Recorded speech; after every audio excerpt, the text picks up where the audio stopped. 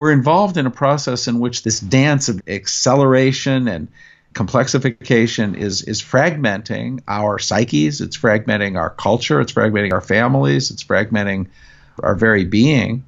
And yet in response to that crisis of fragmentation the inherent wholeness of being is reasserting itself like an immune response and that's mm. what arises in our hearts where we, we want to make things better we want to be of benefit we want to restore integrity you know the, all those motives are very healthy wholeness wants to have its say. And that is more at the heart of this. I, I see uh, this revolution, you know, it's going on in every one of us.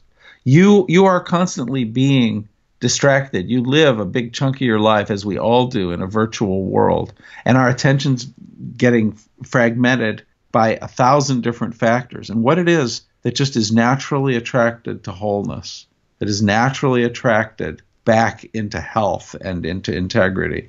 That which wants to be the change that's obviously so necessary in our world.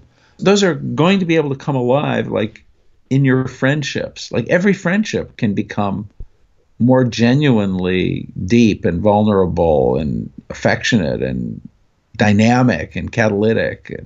Every conversation, every every organization an integral revolution is upon us. And, and I, I, call it integral because it's taking place in every heart, in every relationship, in every organization, in every in every nation, in every culture. And it's got to do with this crisis of fragmentation being countered by the inherent wholeness of being.